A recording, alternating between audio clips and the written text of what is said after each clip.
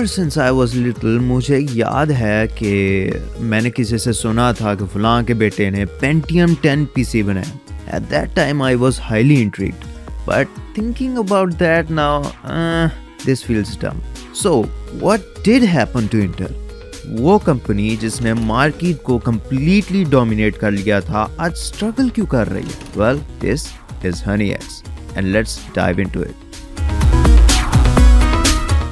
before that I would like to say something कि ये video सिर्फ़ और सिर्फ़ अवेयरनेस के लिए बनाई गई है। मैं किसी की साइड नहीं लेने वाला, और मैं काफ़ी देर से ये डॉक्यूमेंट्री बनाना चाह रहा था, क्योंकि बेसिकली मैं अनबॉक्सिंग की वीडियोस देख देख के कुछ डिफरेंट करना चाह रहा था। So let's get to it Intel वो पहली कंपनी थी जिसने सीपीयू इन्वेंट किया था। सीपीयू की बात की जाए तो it consist of billions of resistors resistor जो है वो बेसिकली इलेक्ट्रॉन का फ्लो कंट्रोल करता है by working as a switch आपको बाइनरी कोड तो याद होगा। Yes exactly that one and zero so when the switch is off it is zero but when the switch is on it is one और इसी तरह से data store होता होता है। But how come Intel came to know about it that's a fun story लेकिन वो मैं किसी और दिन बताऊँगा। बट अभी के लिए मैं सिर्फ़ ये बताना चाहूँगा कि इंटेल की क्रिएशन एक गद्दारी से हुई थी। यस yes, गद्दारी से। एक कंपनी जिसके आठ मेंबर्स ने अपने बॉस से गद्दारी करके अपनी खुद की कंपनी बनाई थी और उन एट मेंबर्स का नाम हिस्ट्री में ट्रेट्रस एट के नाम से जाना जाता है। Eight of these brilliant young men left Shockley to start Fairchild Semiconductor. Shockley called these former employees the Traitorous Eight.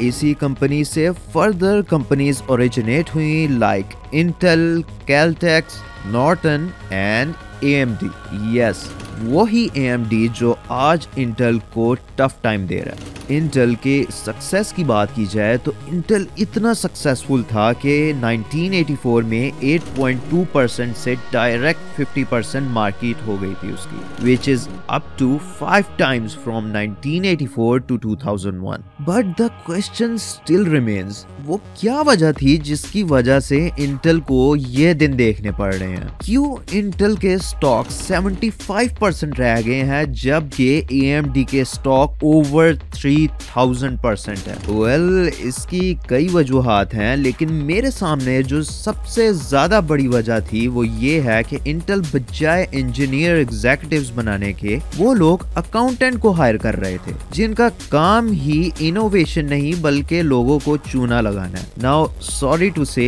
मैं ये चूना वर्ड यूज़ नहीं करना चाहता था लेकिन मैं ये आगे जाके आप लोगों को बताऊँगा कि इस वर्ड को यूज़ करने के पीछे लॉजिक क्या वैसे किसी ने सही बोला है।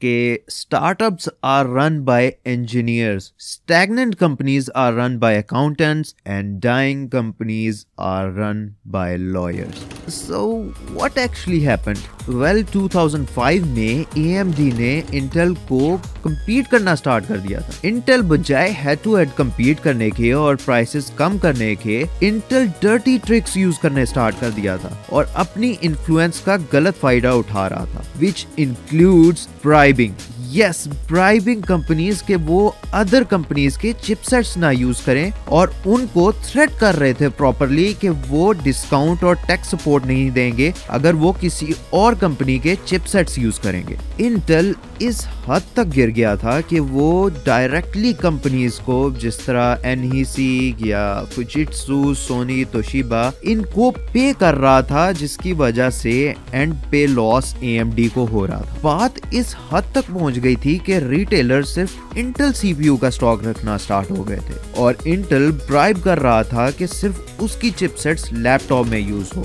जिस पे एएमडी ने इंटेल को केस कर दिया था। उस केस के बाद जापानीज ने इंटेल ऑफ़िस पे रेड मारी, जिस पे पता लगा कि इंटेल लॉस तोड़ रहा 2005 में उसके बाद कोरिया में रेड पड़ी, फिर जर्मनी के ऑफ़िस को रेड मारी, और जिधर से पता लगा कि इंटेल ब्राइब कर रहा है, और कंपनीज़ लाइक डेल इंटेल से पैसे खा रहा है और बात इधर ही नहीं खत्म होती। इंटेल फेक बेंचमार्क्स पे भी पकड़ा गया था, जिससे फर्दर कंट्रोवर्सीज क्रिएट हुई थी। अब आते हैं सेकंड रीजन के ऊपर और सेकंड रीजन ये है कि इंटेल लेजी होता जा रहा था। ऑब्वियसली जब आपकी मोनोपली हो तो बंदा तो लेजी हो ही जाता है right so what else can they do एक जगह है जहाँ इंटेल ने पाँव नहीं रखा था और वो है स्मार्टफ़ोन की इंडस्ट्री इंटेल ने क्या किया कि इंटेल ने अपनी सारी concentration Intel Atom mobile chipsets पे लगा दी थी विच वर शिट पर्सनली मैंने ये इंटेल एटम यूज़ करके देखा था और ये बहुत ही पथेटिक थे। सो मोबाइल इंडस्ट्री फेल होने के बाद जब इंटेल को होश आया तो उनको पता लगा कि मार्केट के अंदर ए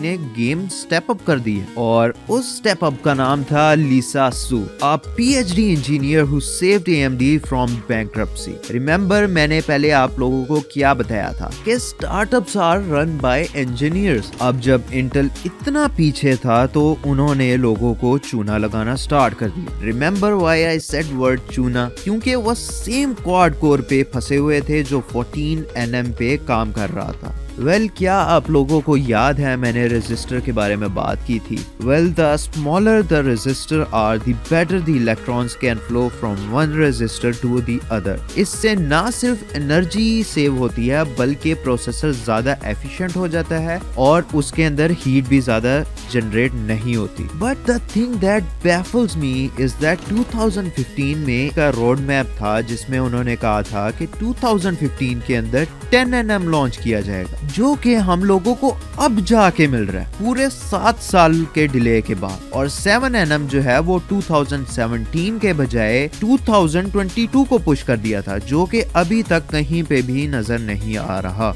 बट राइजन तो ऑलरेडी फाइव एन पे पहुँचा हुआ है तो why can't Intel do that इधर आता है थर्ड इशू जो कि असल में इंटेल के लिए एक एडवांटेज था, जो कि डिसएडवांटेज के अंदर कन्वर्ट हो गया। और उसके पीछे रीजन ये है कि इंटेल अपने जो प्रोसेसर्स है, वो इन हाउस बनाता है। मतलब ना सिर्फ़ उनको डिज़ाइन करना पड़ता है, बल्कि खुद ही मैन्युफैक्चर करना पड़ता है। While on the other hand Ryzen या एप्पल का चिपसेट जो है M1 या M2 वो असल में दूसरी कंपनी से सिलिकॉन लेते हैं लाइक TSMC या सैमसंग इस तरह से उनका वर्कलोड जो है वो डिवाइड हो जाता है जबकि इंटेल को ज़्यादा मेहनत करनी पड़ती है जिसकी वजह से Intel is seriously lacking of Intel is so screwed. They're so screwed. The title of this video isn't clickbait. Hey everyone, I'm joined by Gordon from PC World. Hey everyone. Gordon, you've been on this with me. It feels like for every major launch. Okay. We talked about it through Intel. We've done uh, AMD discussion in the past, but what we're here to talk about now is is a, an internet comment. Oh, okay. The, All right. The comment is Intel is screwed. Yes, but they don't care.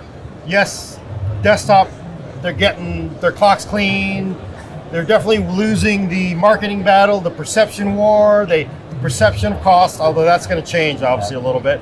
But I do think, yeah, I mean, the the, the excitement around Ryzen is crazy.